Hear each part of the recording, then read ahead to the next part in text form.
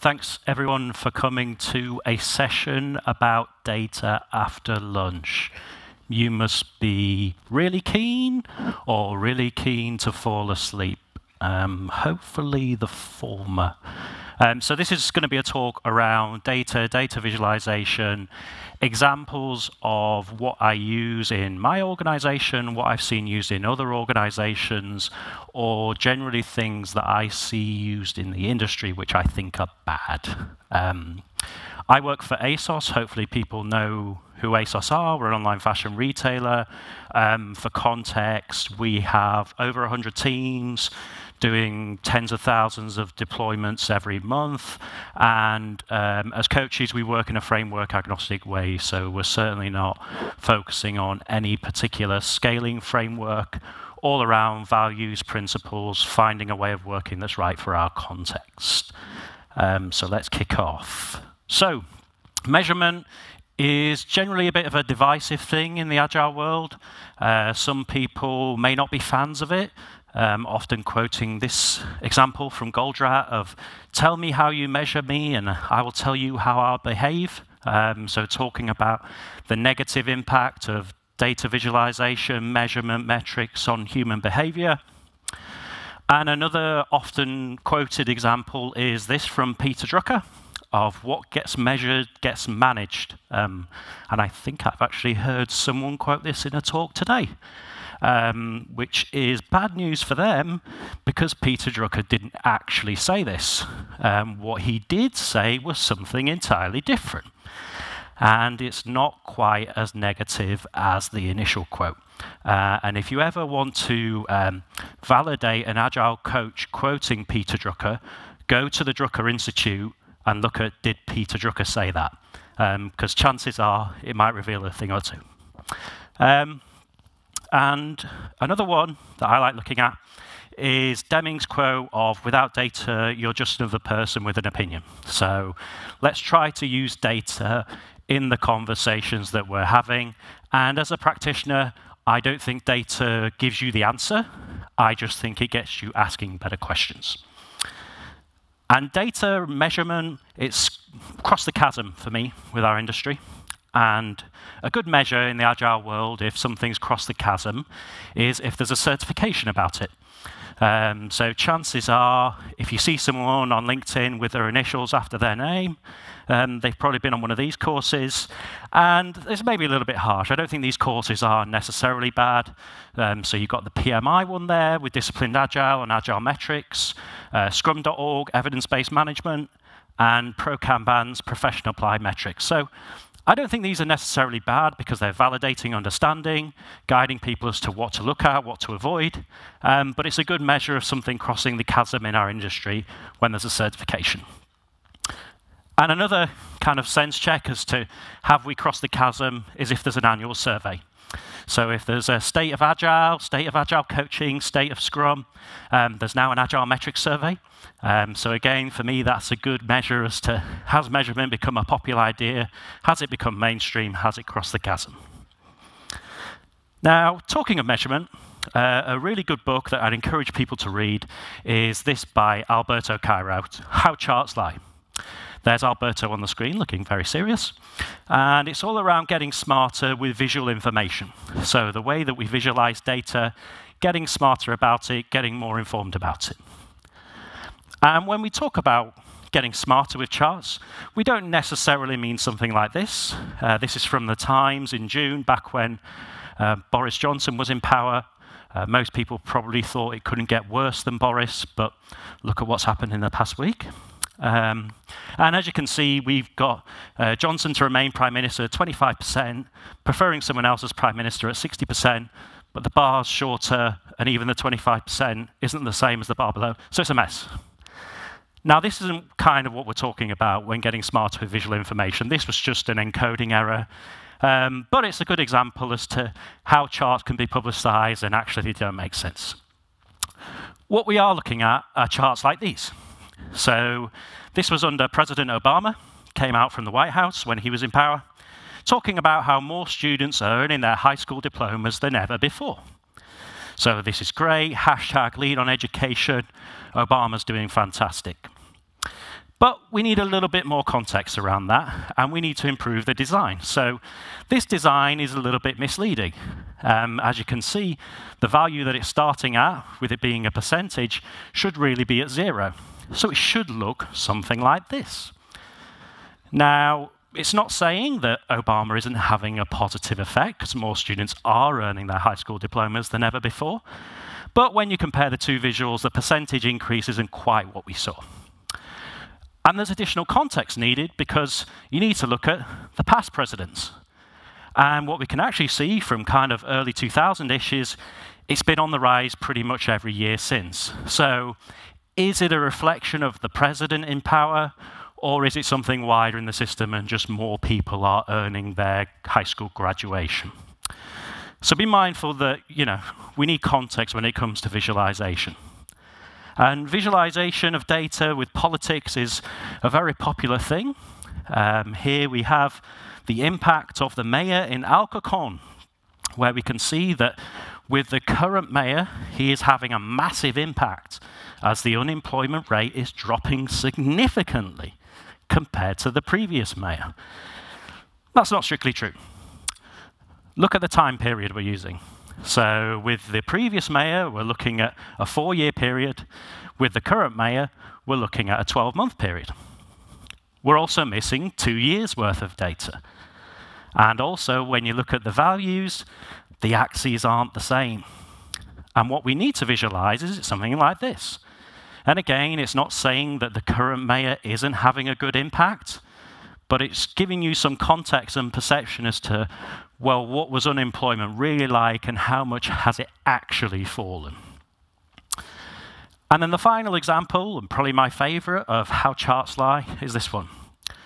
And as you can see, we've got cigarette consumption for people above the age of 14 plotted against life expectancy in years. And for any smokers in the audience, you've got good news. Smoking cigarettes can help you live longer. Um, but again, that's not strictly true we need to consider the element of income within countries and be mindful that a chart shows only what it shows and nothing else. So don't necessarily take what you're seeing as the answer. You need the additional context. And why is that relevant to an Agile conference? Well, we need to think about the different ways that charts lie and what they mean for us.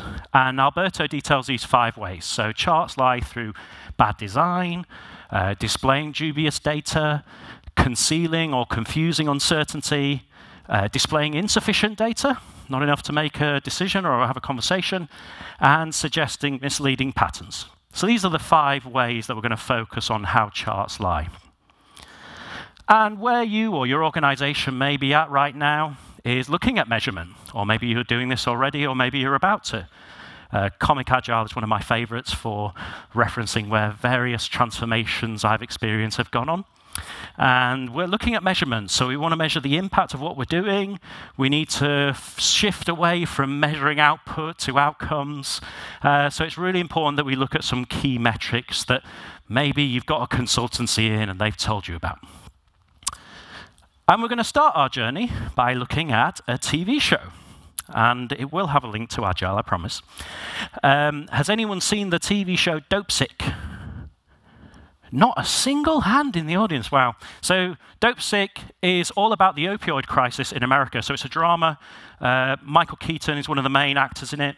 And it's all around the opioid crisis and how it affected different aspects of American society. So, people that were prescribed opioids, the doctors that were prescribing them, the salespeople that were trying to encourage the doctors to prescribe them, the pharmaceutical companies, the people investigating the pharmaceutical companies, all the people kind of in the ecosystem, and it's based on a true story. So I'd highly encourage, um, if you take nothing away from this talk, at least you've got a new TV series to watch.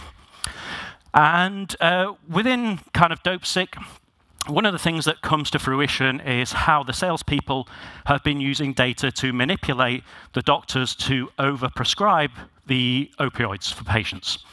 And uh, this chart is being explained by a data scientist here, where we're looking at the positive effects compared to other drugs of Oxycontin.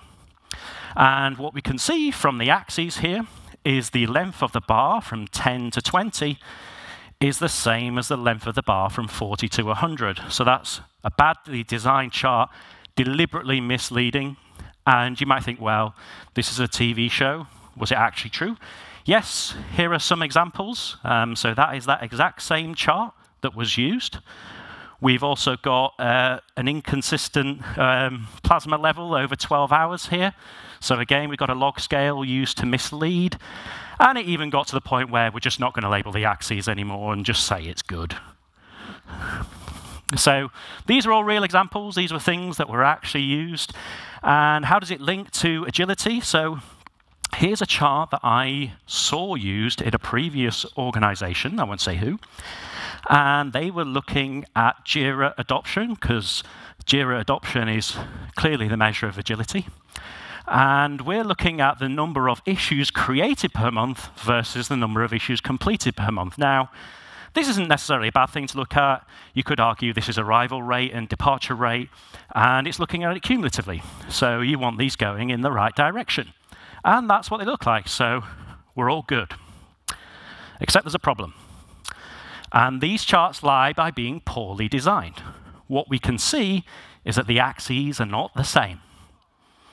And it's presenting a misleading story around our agile adoption. If we make them the same values, we start to see something different. And again, this isn't the best visualization because you could just screenshot one of those. So we need them on the same chart. And what we can see is this, that actually those lines are growing further apart. And that's the first appearance of my cat, Milo. And that was probably the face that I pulled when I saw this information. So, actually, the rate at which we are creating things in our tool of choice is not matching the rate at which we're completing things. So, guess what? Lots of things being created that ain't going to get done. Second chart, and apologies for anyone who is a fan of burn up or burn downs. It's not my intention to upset you, just to challenge your thinking. Um, here's a screenshot from Azure DevOps and uh, how to configure a burn down or burn up widget. And these are commonly used, and I'll admit, years ago I used these as well. But these charts lie. And these charts lie by confusing or concealing uncertainty. You might be thinking, how's that so? It's showing us what we want. Well, we're using the average completion rate, uh, the rate which we're finishing work, and calling it our burn up or our burn down rate and we're using that to forecast when we're going to finish. You can see by the projected completion there. Now, these are based on averages. Now, anyone who has read the book of Sam Savage, The Flaw of Averages, will know this quote Plans based on average fail on average. So, using average is at best tossing a coin. Now, when it comes to projecting an end date for delivery, I don't like to toss a coin, particularly if it's someone else's money. And the flaw of averages is probably best explained in this simple visual.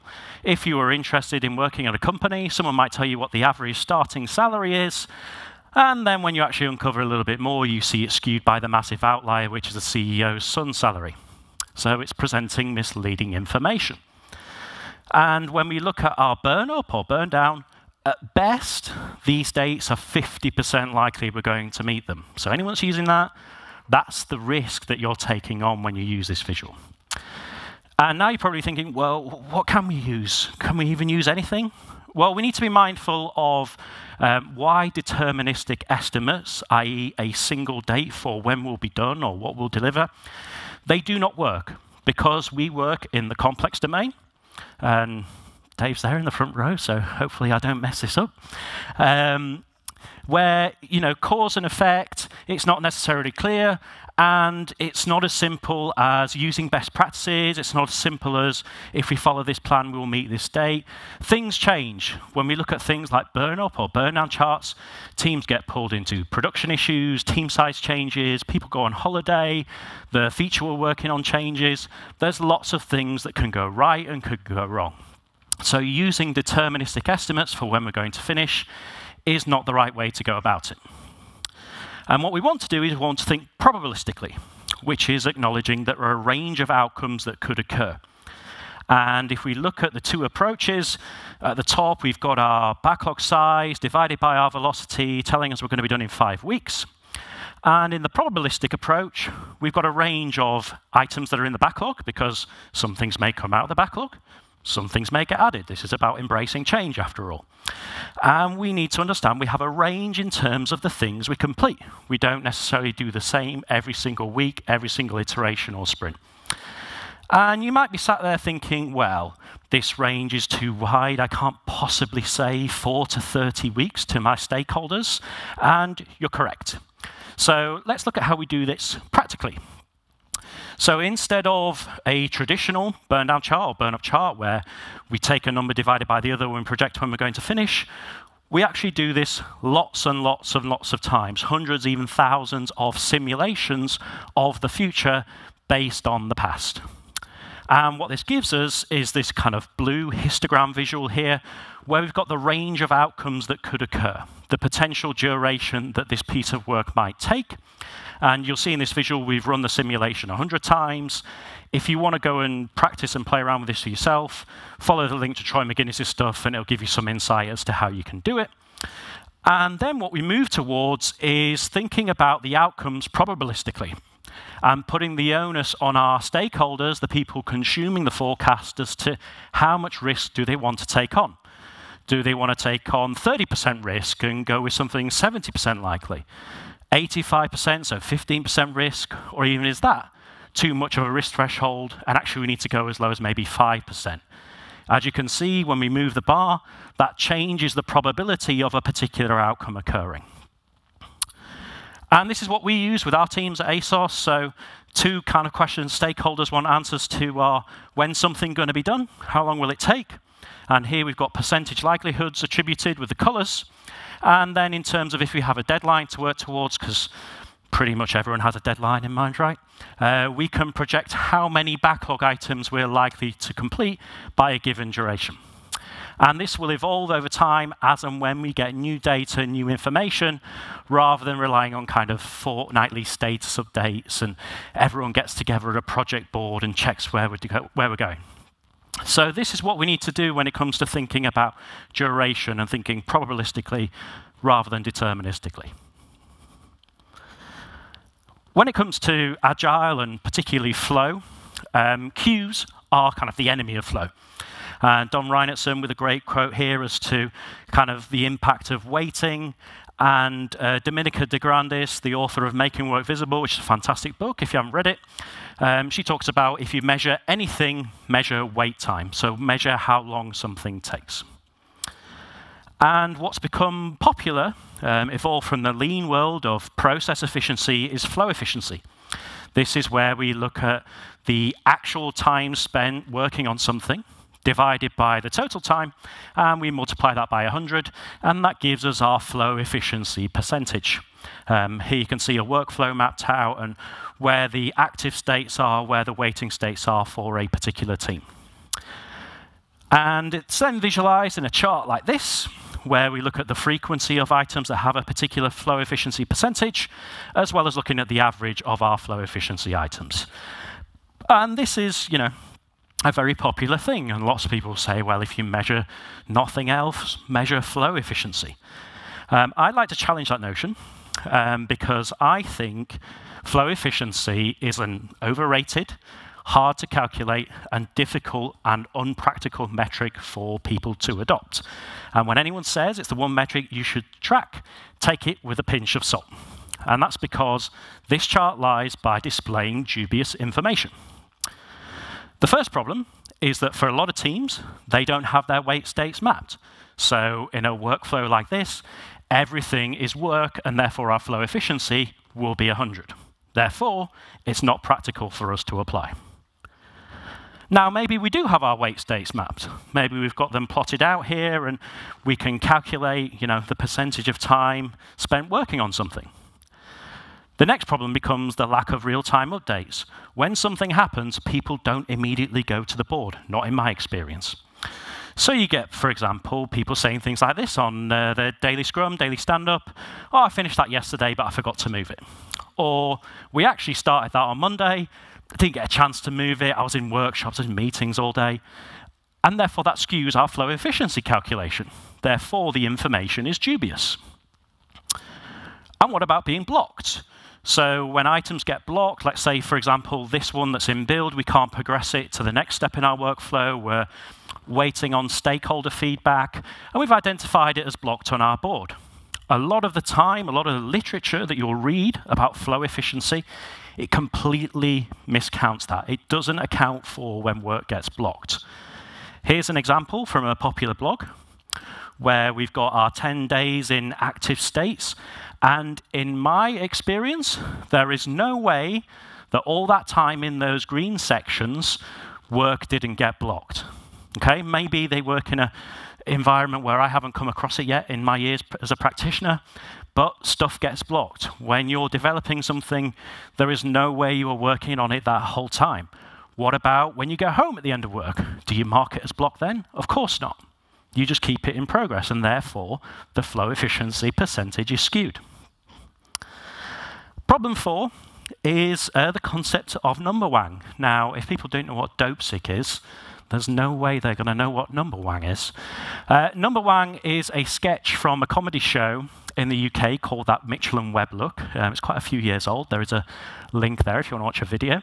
And within the show, you have contestants, and they just shout out numbers, and the guest will then profess, that's numberwang, um, with no real logic behind it. And sometimes you get people just kind of making up numbers and seeing if that's successful. Um, trust me, it's funnier than how I'm describing it. Um, and when it comes to flow efficiency, really for me, it's numberwang, okay? So something might have a flow efficiency of 19%, something might have a flow efficiency of 9%. So what? It's just a number. It doesn't necessarily mean that that item that was 19% efficient was more efficient than the 9% item. Because even look at the cycle time, right? One had a much shorter cycle time, so from a customer, stakeholder, person wanting the features experience, which is going to be more efficient to them? Probably the item that got to them sooner. And then the final problem when it comes to flow efficiency, and Milo's making an appearance again, is when we aggregate it. So if you saw the chart before, we looked at our average flow efficiency when we aggregate all that information up and we look at what that is, it can mask where we have problems or learning opportunities. So those top two items, what was it that caused them to flow so efficiently? And the three items that are in single digits, what blocked them, what caused them to slow down, and it doesn't tell us any of that information. And chances are you probably know what the blockers are anyway. So always be mindful if you're using flow efficiency, these are some of the shortcomings with it. Now, heard cycle time mentioned in a few talks, and I think cycle time is generally a pretty good metric. So this is the amount of elapsed time in calendar days between when an item starts and when an item finishes. And we calculate that and we look at you know, how long it takes for us to essentially finish work once we've started. And this is an example that I've seen in a previous organization where someone is coaching a team, and you can see by their badge there who they represent and they've improved their way of working, and they have had a massive impact and reduced their cycle time. Great. Well, some things to bear in mind. For one, correlation doesn't equal causation. So just like if you're going to eat a lot of cheese tonight and then change your bed sheets, you probably won't die, but those two things are correlated doesn't necessarily mean that because the Agile coach has been working with them, that they've been the direct cause as to why cycle times improve. And I'm conscious I'm doing myself out of a job, but let's be honest. So you need to be careful when you use median. Median is a form of average. And again, simplistically, this person is trying to encourage their friend to invest with them, and the median gain of their fund is, fund is 8%. So that's great, but actually, when we look at the things on either side of the median, we have massive losses. So by missing that context, they may not be the right person to invest with. And if you go back to our chart, we're looking at the median cycle time per week, and it's trending down. And with the median, we have some items below it, and we have some items above it. So we need to be mindful of that. And actually, this chart lies by suggesting misleading patterns. It's suggesting that cycle time is improving, it's reducing, therefore, we're getting work done quicker. When we look at the full data set, a different pattern starts to emerge. And for people that can't quite easily tell, cycle time is increasing. It's not decreasing when we bring the whole data set into it. And as you can tell, Milo is less than impressed. So this is how we've suggested something that is somewhat dubious. It's actually quite misleading. Cycle time isn't improving, and I've seen more than one team make their decisions just based on what their average cycle time is. So again, be mindful of that when it comes to using this measure. What you should use um, is a cycle time scatter plot. Hopefully some people are familiar with this.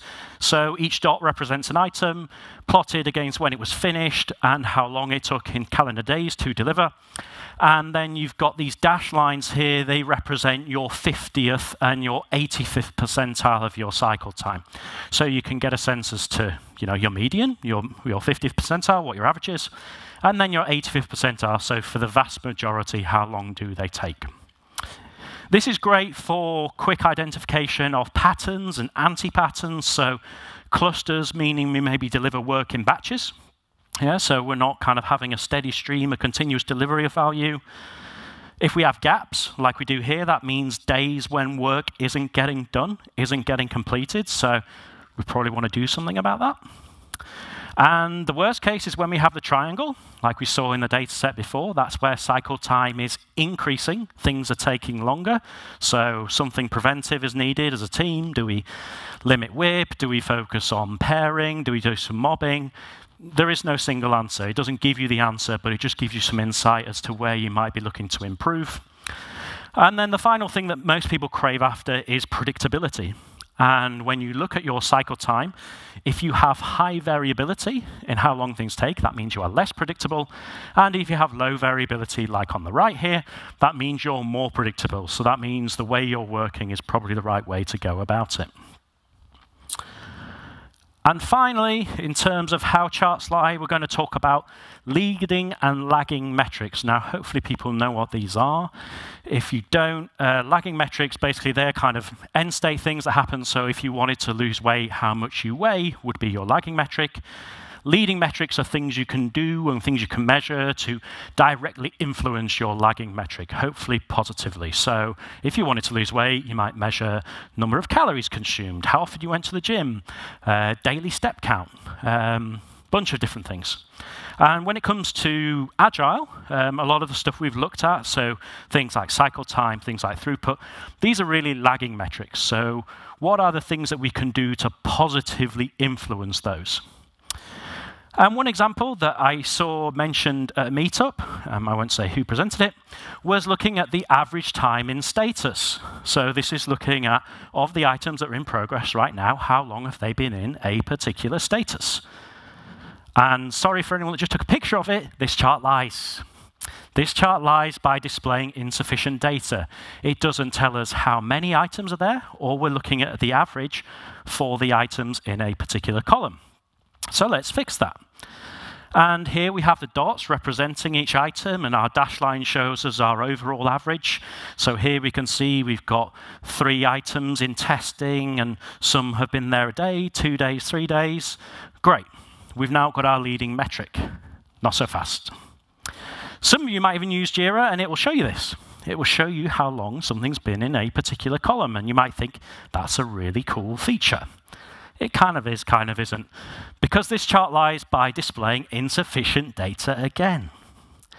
It doesn't tell you how long things have been in progress, how long they started.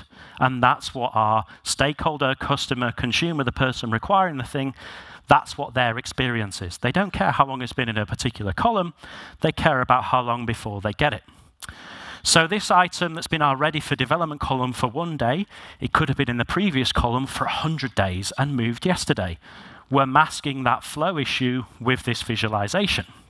Similarly, so what things have been in a column for three days on average? How long have they been in progress, and how does this compare to our historical cycle time? The chart you should use is the work item age chart.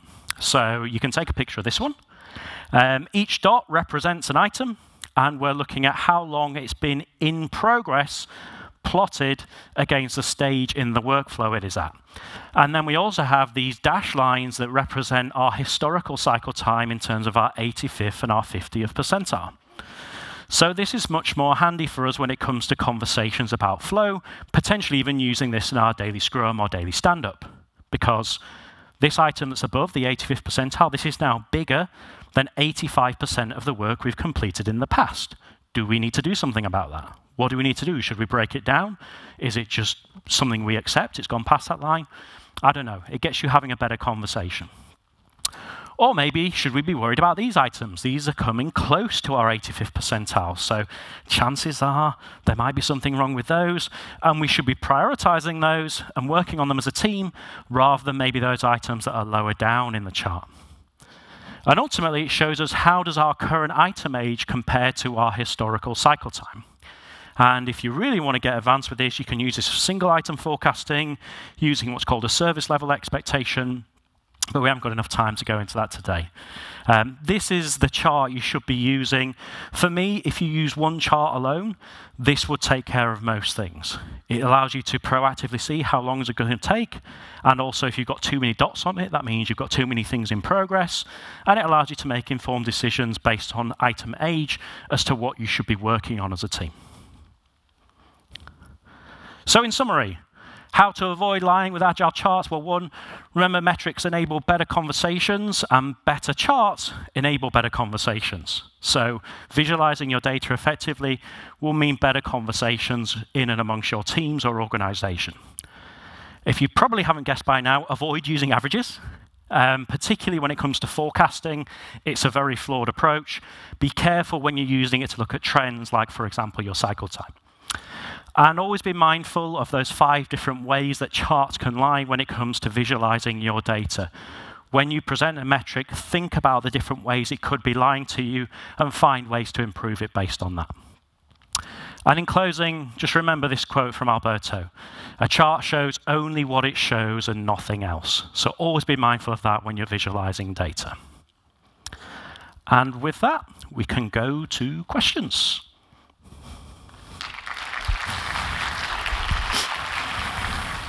Thank you very much. That was amazing. And uh, we have a question which is difficult. So please comment, Mateusz. This is a question from Mateusz. If uh, you can add something a bit general, what would you say that is this even possible to represent reality with charts and metrics, or they obfuscate a difficult word just as much as they reveal? Very good question. I think mm, that is the essence of any sort of use of measurement when it comes to agile teams. They're probably missing a little bit of reality. Like I said, no one, once they're blocked, immediately goes to their Kanban board and tags something as blocked. Human nature is I'm just going to work on the next thing, the next priority. And therefore, any sort of kind of time, you have to take it with a pinch of salt. So, so long as, like I said, you're not treating it as this is the fundamental answer, this took seven days exactly, and you're just using it as to this took seven days, how could we improve the flow of it so it was a little bit quicker, um, but not over gaming it, over emphasizing it so people artificially kind of break work down. I think that's a balance you have to retain. Um, when I started looking at data metrics, I always viewed it as kind of the answer. And I think over time, like the question alludes to, I've understood that actually it's not necessarily answer, it's just maybe a little bit of an indicator that might help us. Difficult stuff. Difficult. Yeah, practicing my politician, maybe. So maybe a simpler question then. A simpler and popular from Maciek. What tools do you recommend to aggregate and show data? How to extract them from our backlogs? Um, well, I'm a little bit biased because there's tools I've built. Now, they're all free, don't worry. Um, so over the years, I've got frustrated with the charts that are kind of built into the tools like Jira and Azure DevOps, and they come out of the box. Um, so I have open source tools that work with Jira or Azure DevOps. Actionable Agile is a great tool, um, but it's paid. And if you really uh, kind of can't get any sort of external tool, use Troy Magennis's stuff. Troy, all his stuff is spreadsheets. It uses Excel. Hopefully, every organization has Excel. It works for Google Sheets as well, if you're G Suite. Um, but when I started my journey, that's what I started using. I started using Troy's tools as a minimum because it's as simple as getting your in progress date, your completed date, chucking that into a template, and then it gives you the charts. Um, so that would be my advice. Thank you. And Michał asked, how do you make sure that data you use to simulate probable outcomes is not corrupted? Are there any good practices you can recommend to ensure data quality? So um, I didn't really um, call it out when I was on that slide, but on our version of the um, of the forecast, it shows you actually the percentage kind of stability or instability of the input data. So I try to kind of coach people around playing around with a range as to what input data they take and seeing what the range of outcomes are. So you might use 12 weeks historical data, and that may give you an answer. But if you have 10 weeks, see what that looks like. If you have six weeks, try what that looks like, because your context could have changed. Um, and I really kind of emphasize the importance of if the stability percentage is too high, then chances are it's a bit of a pointless ask when it comes to forecasting when you're going to be done because your throughput is all over the place that you may as well just guess. Um, but those are the tools that we use. So looking at the stability of the input data. Yes, and this is connected question from Anonymous. How to convince the team to measure? Often they think that it's important only for a Scrum Master. um, so I, I, I'll confess I've made this mistake in the past when I've gone in uh, kind of as a scrum master with a team saying, let's look at all these metrics and see where we can improve. Um, there has to be a desire from the team to want to do it. So any sort of setting up of metrics, dashboards, etc., the request really has to come from the team. So when we've been rolling out these metrics to teams in ASOS, uh, it's, it's invitation over infliction, right? We're not forcing them to use it. They have to want to use it. Some of the things that we like to do is training based on fictional data. So where there are patterns and anti-patterns in particular charts, and the team can learn in a safe space. And then that might get them curious about their own data, and then they might want to set it up. And if they don't, then it may just be that it's not the right time for them. You can't force it upon them, is what I've learned. Um, I worked in one organization and they took every single team's JIRA data and put it on a central data platform um, without the teams even having a say so as to if that could be done or not. And that was, for me, probably the worst example as to how to uh, not get people to buy in. Um, so you, you've just got to kind of stick with it, encourage them, and only if they want to do it should you then start to look at it. Otherwise, it's just going to be a pointless task. And in my case, I can say your tools convinced us oh, to measure something. And the last question for today, it's from uh, Michał. Some numbers should be shown on logarithmic chart because of its physical nature. Wasn't the case you show? Sorry, can you repeat that question? Some numbers should be shown on logarithmic chart. Yes. Because of its physical nature. Mm -hmm. uh, yeah, yeah, I'd agree. Um, if you watch Dopesick, you'll find that wasn't the case there. It was to deliberately mislead. Okay, thank you very much. We have a few more questions, but I think, Nicolas, you will be available for further questions. So please, uh, thank you very much for this lecture.